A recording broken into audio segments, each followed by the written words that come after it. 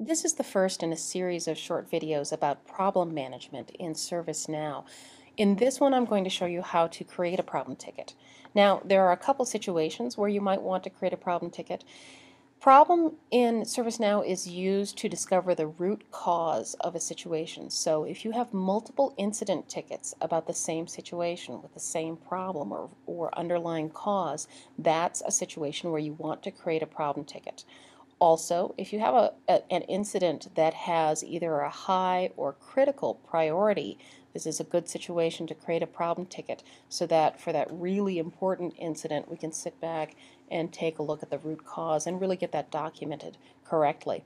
Um, anyone in ServiceNow right now has the ability and the authority to create a problem ticket. So if you're seeing stuff going on that really needs a problem uh, connected to it, you go ahead and create that problem ticket.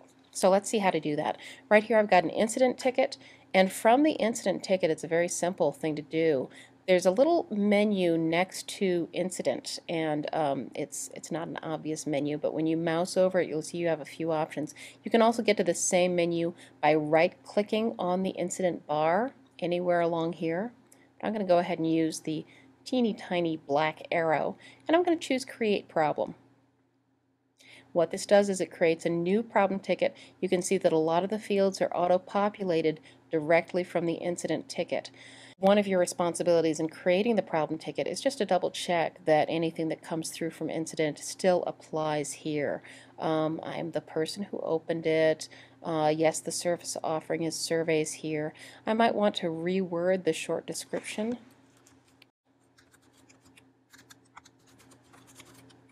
that makes a little more sense for the folks who are going to be working on this. And I definitely want to double check the assignment group.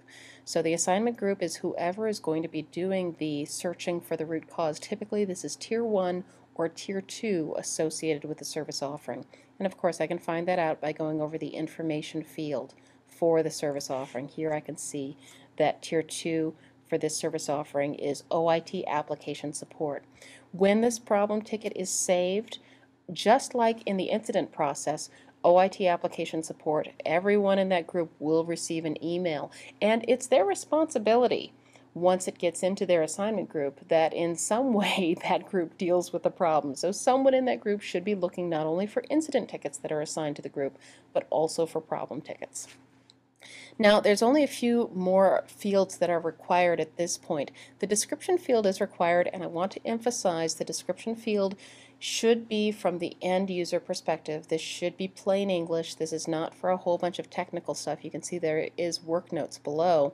I'm going to emphasize this because problem ties in closely with knowledge.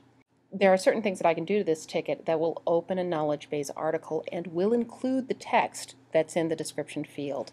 So um, I'm not going to take a whole lot of time to type anything in here. That would be boring for you to watch, but I'll say description of problem in plain English from end user's perspective. There we go. So that I'm emphasizing that is how you're going to be filling that in. Now as we can see there actually aren't any other required fields at this time. As I scroll down though I'm going to point out that the incident that I originally created this problem ticket from is attached to this problem ticket. And I'll talk a little bit more about that in a separate video. But for now, I'm just going to go up to the top and say save and go. This again will create the problem and will have it show up in the assignment group. And again, the assignment group in this case is OIT application support. It will show up in their queue and send those folks an email to let them know. I do want to point out one other thing, and that is I'm going to open up my left navigation bar and scroll down to the problem area, it is entirely possible to create a new problem from scratch without starting from an incident. This would be only if for some reason you are aware of a problem but an incident ticket hasn't actually been opened yet. This has fewer fields filled out so it just means more work on your part. So you probably want to start from the incident ticket point of view. And that's all about creating a problem ticket.